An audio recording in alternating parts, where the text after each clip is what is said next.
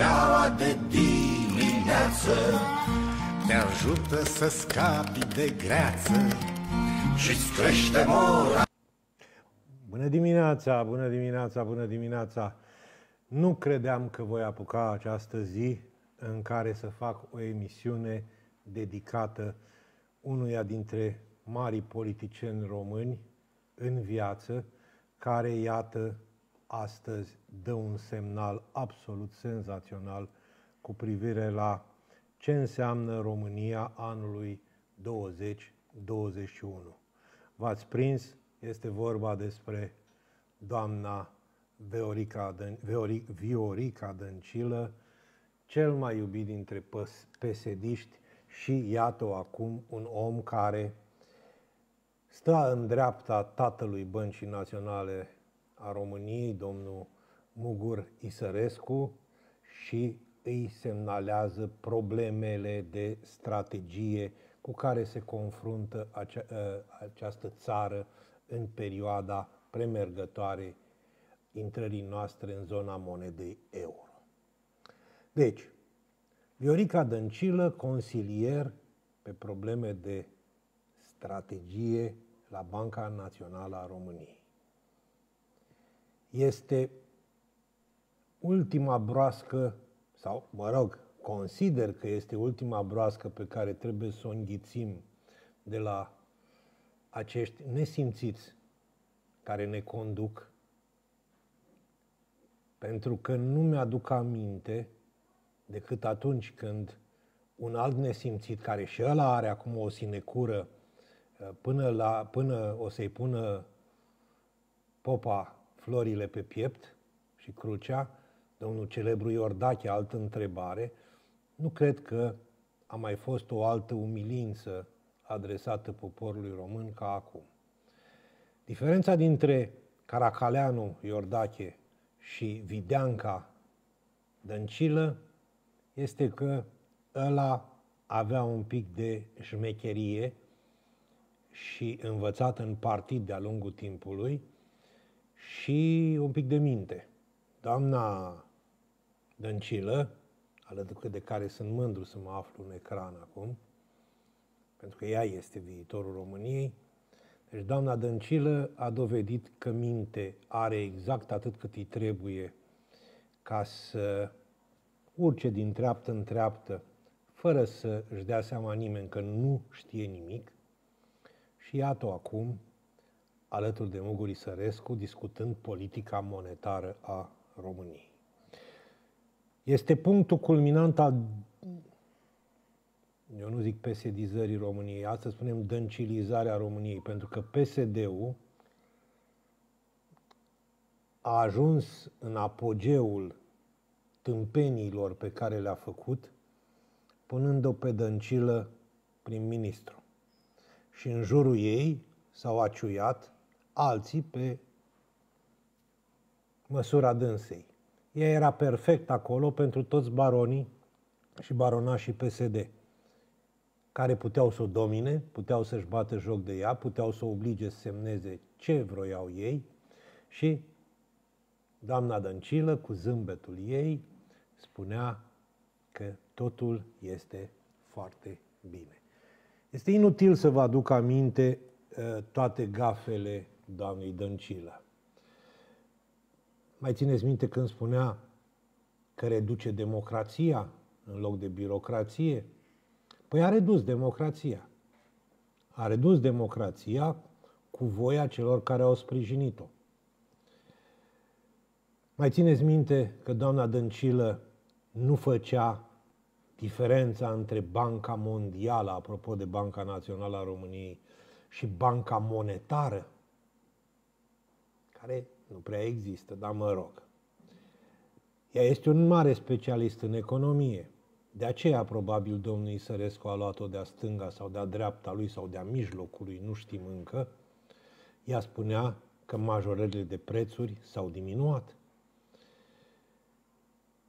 Doamna Dăncilă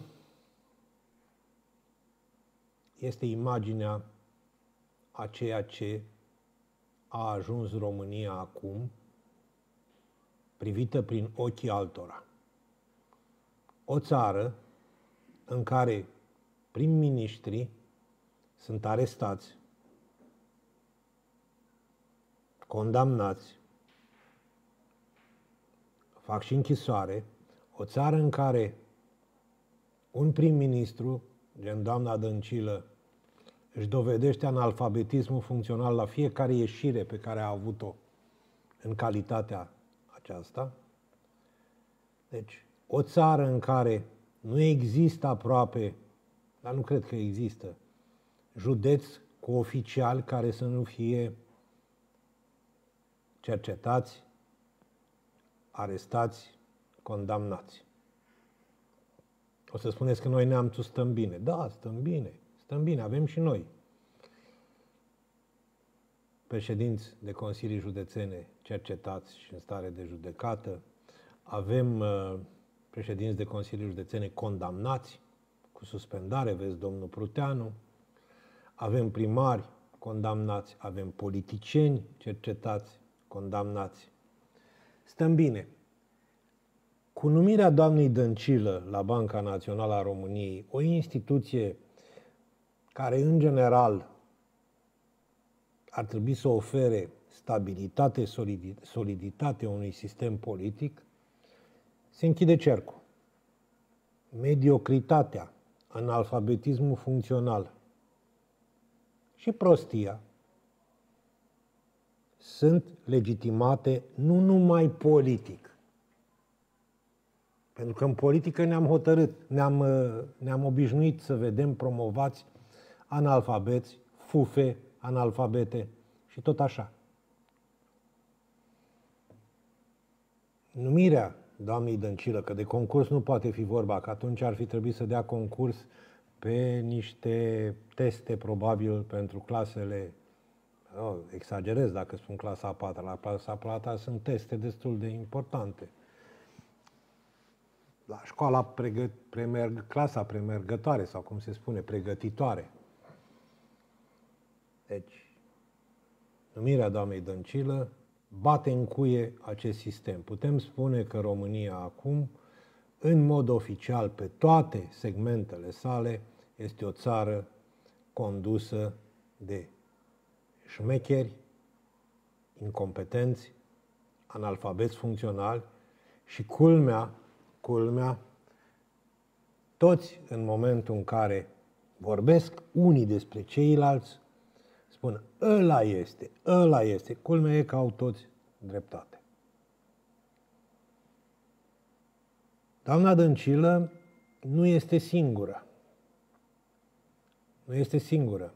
Țineți minte că Banca Națională, la un moment dat, a avut un vicepreședinte, domnul Bogdan Olteanu, care era un vașnic, vașnic om politic, dacă nu mă înșel, era în Partidul Național Liberal, și care face acum pușcărie, în vreo șapte ani parcă, pentru o șpăguță de un milion, parcă, de euro.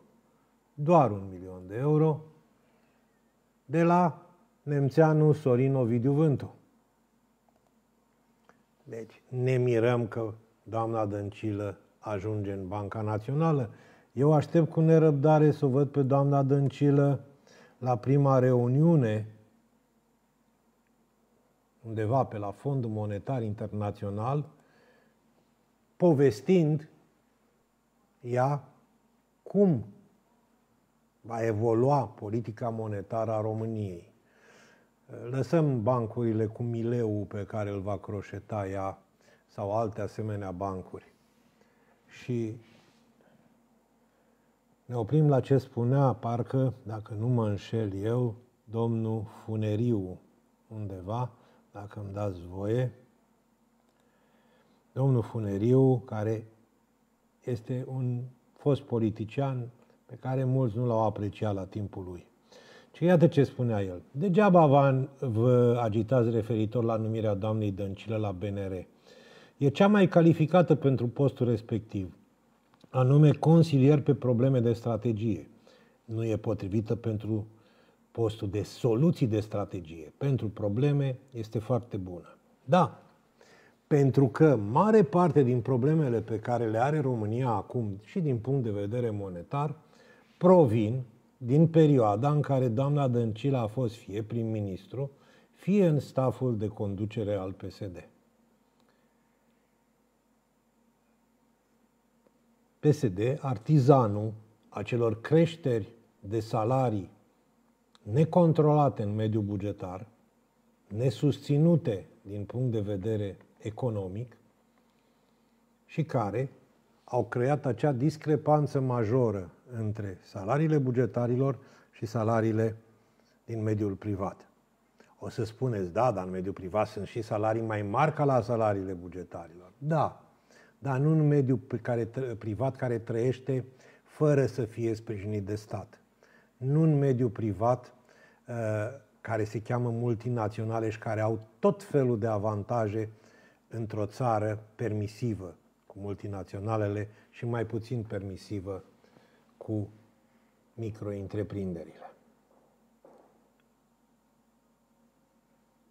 Este greu de crezut că ne mai putem reveni din, această, din acest marazm instituțional, pentru că, nota bene, și cei care vin din afara vechilor partide, gen USR+, băieți școliți de data asta, care au la ei cărțile, au citit, vin cu un mod de gândire care este mai taliban decât al talibanilor. Numai ei au dreptate. Indiferent ce prostii spun, indiferent câte tâmpenii spun, indiferent că promovează oamenii în funcții pe aceeași metodă ca și partidele vechi și pun alfabeți în funcții sau oameni compromiși, vezi ce se întâmplă pe la CNA, vezi ce se întâmplă și prin alte părți care sunt în căruța USR+. Și atunci te întrebi ce este mai bine.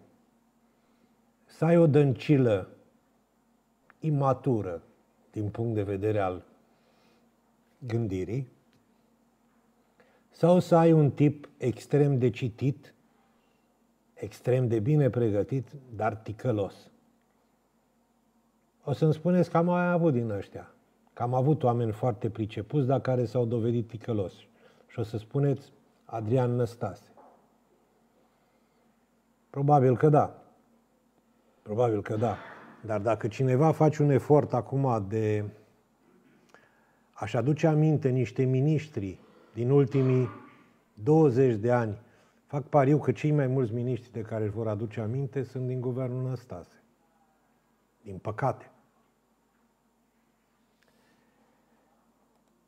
Abia acum putem spune că reforma clasei politice s-a înfăptuit. Doamna Dăncilă, o ilustră necunoscută din Videle, care a avut norocul să fie confundată într-o seară cu doamna Carmen Dan, de către domnul N-a am uitat cum îl cheamă pe fostul președinte al PSD, care trebuie să iasă din pușcărie acum. Deci, a fost confundată într-o seară și așa a ajuns psd de frunte. Deci doamna Dăncilă este imaginea finală a unui sistem politic și administrativ putred și fără niciun fel de argumente. Nu știu ce se mai poate spune despre toate aceste lucruri. Cred că este suficient.